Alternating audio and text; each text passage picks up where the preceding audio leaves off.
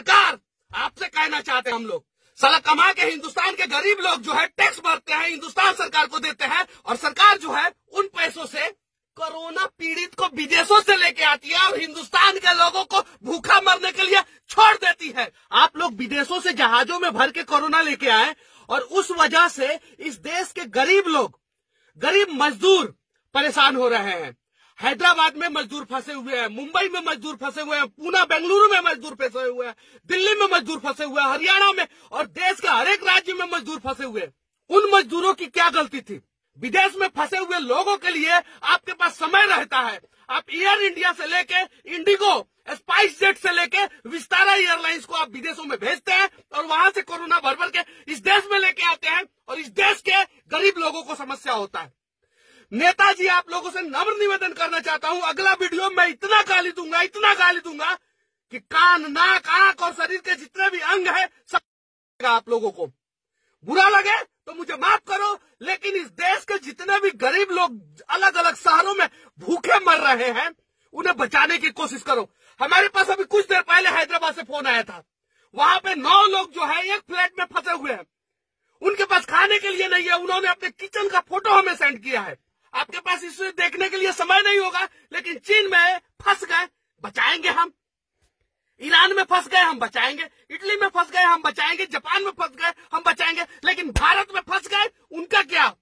किसने कहा था इन्हें कि भारत छोड़ के विदेशों में जाओ? और लालच के वजह से ये साले विदेश गए थे। और ये सालों की वजह से जो है, ये विदेश से कोरोना भर भर के लेके आए। इन सालों की वजह से भारत के जो है, मासूम लोग फंसे हुए हैं आज। अपने घरों में बंद है। हम भी अपने घरों में बंद है।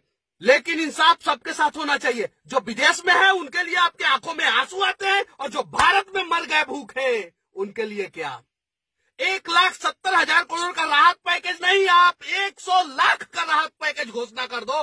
लेकिन जब तक देश के लोगों के साथ आप खड़ा होना नहीं सीखोगे तब तक जो है इन राहत पैकेजों का कोई मोल नहीं। मैं सिर्फ़ और सिर्फ़ किसी एक पार्टी को नहीं बोल रहा हूँ। मैं देश के तमाम नेता, देश के तमाम बुद्धिजीवी लोगों के बारे में बोल रहा हूँ। भारतीय टीम के तमाम क्रिकेटर, आप लोगों को स्टार हमने बनाया है, लेकिन कोरोना महामारी के बीच में आप लोगों ने एक रुपया का अनुदान जो है लोगों को नहीं दिया है। फ़िल्म स्टार और बड़े बड़े हस्ती घर में बैठ के हाथ धो गांड धो ये धो वो धो ना जाने क्या क्या करते रहते लेकिन एक रुपया का डोनेशन आप लोगों ने कोरोना महामारी से लड़ने के लिए गरीबों को नहीं दिया है। आपके पैसे की ज़रूरत नहीं है और हमें नहीं चाहिए। लेकिन सरकार आपसे कहना चाहते हैं हम लोग, साला कमा के हिंदुस्तान के गरीब लोग जो है टैक्स भरते हैं, हिंदुस्तान सरकार को देते हैं और सरकार जो है उन पैसों से कोरोना पीड़ित को विदेशों से लेके आती है और हिंदुस्तान के लोगों को भूखा मरने के लिए छोड़ देती है। इनको किसने बोला था विदेश जाने के लिए? विदेश जाने से पहले ये साले क्या भारतीय सरकार से पूछे थे कि हम विदेश जाए कि नहीं जाए। विदेश तो चले गए। जब समस्या होता है तो मोदी जी बचा लो। जब समस्या होता है तो मोदी जी बचा लो। सालो तुम्हारे वजह से 130 करोड़ लोग जो है, आज इस देश में परेशान है। अपने अपने घरों में बंद है। मेरा एक दोस्त है जो बिहार और झारखंड के बॉर्डर पे अभी एकदम से लॉक्ड हो चुका है। उसके पास खाने के लिए कुछ नहीं है। उसे समस्या हो रहा है। उसकी एक छोटी सी मासूम बच्ची है गाँव में। उसे समझ में नहीं आ रहा है कि मेरे पापा है कहाँ। उसकी एक बीवी है, जो दो दिन से खाना नहीं खाई है, लेकिन ये एहसास जो है, वो न नरेंद्र मोदी को होगा, न राहुल गांधी को होगा, और न इस देश के 543 सांसदों को होगा। कुछ करने की ज़रूरत नहीं थी देश के नेताओं, आप लोगों को। जितने भी सांसद और विधायक हैं, वो अपने अपने क्षेत्र के लोगों को बचाने के लिए सिर्फ़ और सिर्फ़ एक एक बस की व्यवस्था कर देते। और और एक एक थर्मल हीट डिटेक्शन मशीन जो इंफ्रारेड मशीन है, जो यहाँ पे लगाने से पता चलता है कोरोना इसे है तो फिर विदेश से भर भर के क्यों लाए? और देश में जिसको कोरोना नहीं है, वो साला भूखा मर रहा है।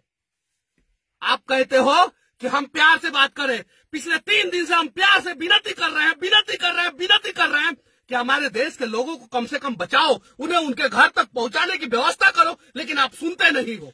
आज जो है, हमें इसलिए टाइट होके बोलना पड़ रहा है क्योंकि आपका कान जो है, वो सीधी बात और धीरी बात सुनता ही नहीं है।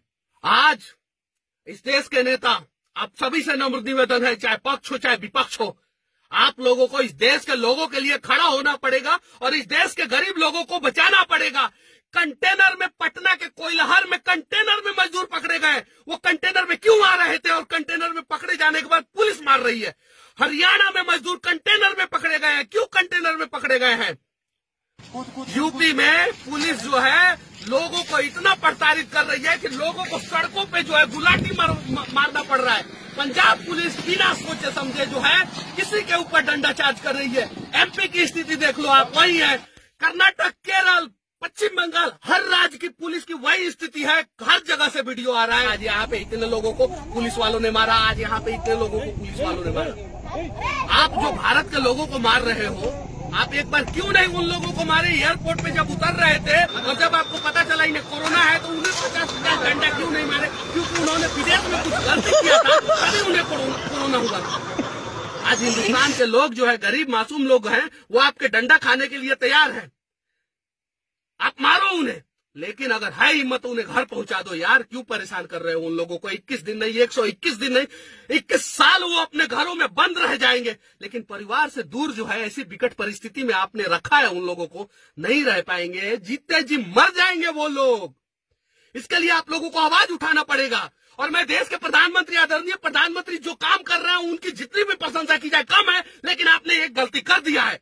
और उस गलती को सुधारना आपकी जिम्मेवारी है। आप हर राज्य के मुख्यमंत्री को ऑर्डर दो कि वह अपने अपने राज्य के लोगों को जो है, किसी भी हाल में कहीं भी फंसे हैं, उन्हें बाहर निकाले। कुछ करने की ज़रूरत नहीं है। हर जिला का हेल्पलाइन नंबर होना चाहिए हर हर जिला के लोग जो है, अगर देश के किसी भी कोने में फंसे हैं, अपने जिला के हेल्पलाइन नंबर पर कॉल करें और उस जिला के प्रशासन की जिम्मेवारी बनती है कि वो किसी भी हाल में उन्हें निकाले। चीन से आप निकालते हो, उज्बेकिस्तान से निकालते हो, तेहरान से निकालते हो, ईरान से निकालते हो, इराक से निकालते हो, इटली से निकालते हो, अमेरिका से निकालते हो। भारत में क्यों फंसाते हो लोगों को? इसलिए फंसाते हो ना कि वो गरीब है। वो कुछ बोल नहीं सकते, वो आवाज़ उठा नहीं सकते। भगवान के घर में देर है, अंधेर नहीं, और भगवान की लाठी जो है, वो दिखती नहीं है, लेकिन चलती है, और जब चलती है ना, ये पुलिस की लाठी जो गरीबों पे गिर रही है ना, उससे ज़्यादा दर्द करता है।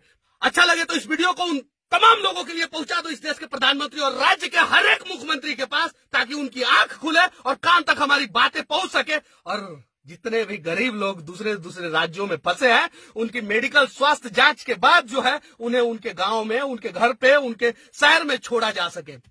जय हिंद, वंदे मातरम।